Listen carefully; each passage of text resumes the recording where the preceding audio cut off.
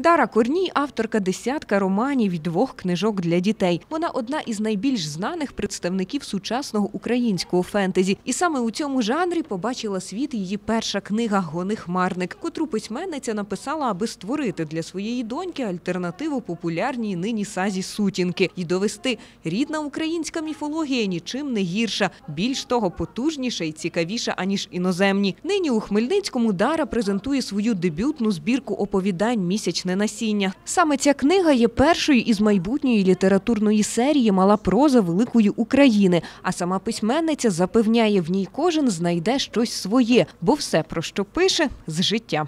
Це набагато простіше, нічого придумувати не треба. Є люди, які розповідають свої власні історії зі свого досвіду. Е, І ти розумієш, що неспроста вони прийшли до тебе, що ти маєш про них написати.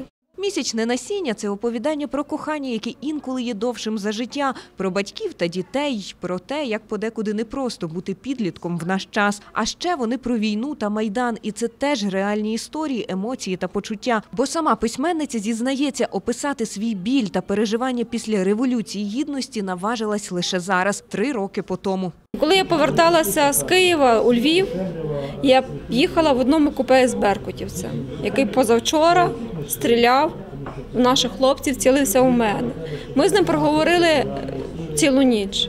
Він також українець. Він з західної України. Він не приїхав з Криму, він не з Донецька, він не з Росії. Це наша людина, наш е, западенець, греко-католик, віруючий чоловік, який ходить до церкви, але йому дали наказ стріляти. Він стріляв.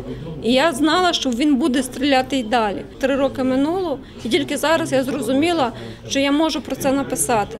Надія Куриляк, Юрій Чорний для інформаційного випуску.